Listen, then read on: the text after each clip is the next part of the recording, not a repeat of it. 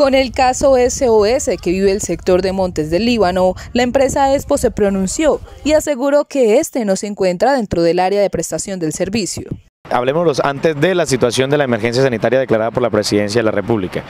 Nosotros venimos haciendo seguimiento y revisión de todo el sistema de acueducto para que los usuarios de manera legal estén registrados ante la empresa y sean usuarios constituidos ante nosotros. En este momento en este sector, específicamente de Montes del Líbano, primero no contamos con una petición, un tipo de solicitud ante la empresa de disponibilidad del servicio. Lo que me indican los directores de jefe de planeación y también el jefe del área físico operativo es que en estos momentos no se cuenta con un soporte de solicitud física donde ellos, eh, más que todo, manifiesten que estos están por dentro o por fuera o que manifiesten una revisión para asegurar la prestación del servicio. En este momento ellos se consideran como fuera del área de prestación del servicio por el lugar donde están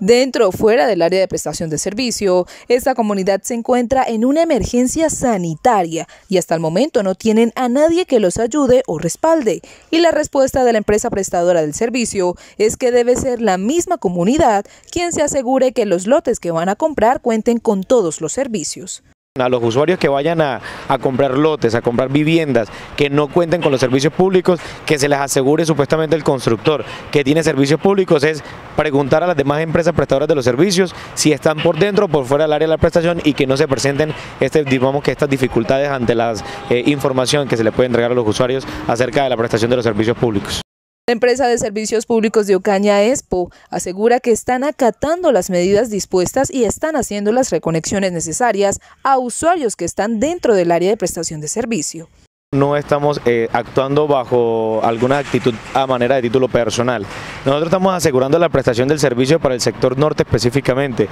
A los usuarios que se encuentren dentro del área de prestación, la empresa tiene que asegurar una presión mínima y un servicio estable. Para usuarios que están por fuera del área de prestación y anteriormente se le contaba con el suministro de agua potable, hay que tener en cuenta que ellos no son usuarios legales. Es por eso que la empresa viene adoptando estas medidas para asegurar a los usuarios que sí están relacionados con nosotros una prestación del servicio estable. Es decir, nosotros tenemos una cantidad de usuarios, ejemplo, se me ocurre 35 mil, aseguramos la prestación para los 35 mil, pero para los usuarios que están de manera, digamos lo que ilegal o por fuera del área de prestación, se me ocurre 36 mil, son mil usuarios que lo estamos haciendo de manera aquí de ejemplo, que están por fuera del área de prestación y que la empresa no tiene contemplado a, digamos que, suministrarle de forma regular una prestación del servicio normal y eso hace perjudicar a los demás usuarios que están constituidos.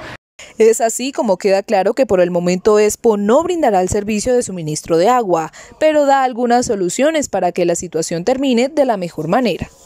La invitación a los representantes de este sector es que se acerquen a las instalaciones de la empresa. Hay varios mecanismos legales para que el usuario también pueda contar con este servicio, pero lo más importante es que cuando se amplíe lo del plan de ordenamiento territorial también se amplía también la cobertura del servicio. Pero son cuestiones de que ya hay que revisar con la administración municipal y con la empresa de servicios públicos y que es un trabajo que se puede, digamos que gastar un tiempo. Sin embargo, se pueden organizar como comunidad, un líder acercarse a la empresa y establecer conversación, por supuesto, con nuestra directora de planeación y llegar a una solución. Pero por el momento incluso no existe ninguna solicitud de disponibilidad del servicio para ese sector.